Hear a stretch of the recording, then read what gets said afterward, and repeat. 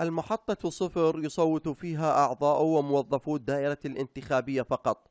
يبدأ تصويتهم قبيل شروع عامة الناخبين في الاقتراع. هذه المحطة عادت إلى الواجهة قبيل الانتخابات المرتقبة. وتحاول هذه المفوضية أن تنقل رسالة لدول العالم بأن هذه المفوضية قد شكلت وأسست وأنشئت ليس وفق المحاصصة الطائفية أو العرقية أو الحزبية. وجود هذه المحطة يحرج استقلال المفوضية والسبب أن التصويت خلال الانتخابات السابقة كان يذهب إلى جهة سياسية بعينها وقد كشفت المفوضية بدقة متناهية التوجهات الحزبية لبعض موظفيها ما دفعها إلى إلغاء تلك المحطة في الانتخابات المرتقبة فيما القادم قرار مجلس المفوضين بإلغاء المحطة صفر آه، جاء نتيجة لتلافي بعض الإشكالات التي قد تحدث وأيضا بغية تقليص بعض المحطات آه، الانتخابية. مراقبو الانتخابات سجلوا عمليات نقل واسعة داخل المفوضية.